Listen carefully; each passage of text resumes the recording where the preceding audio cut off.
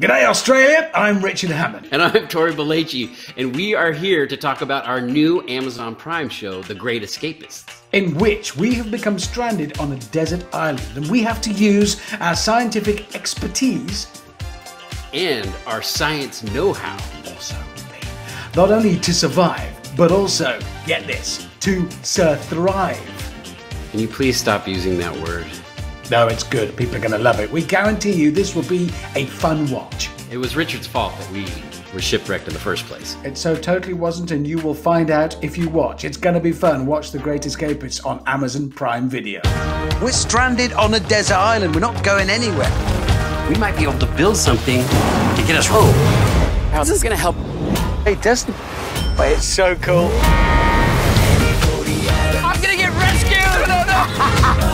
Both gone mad.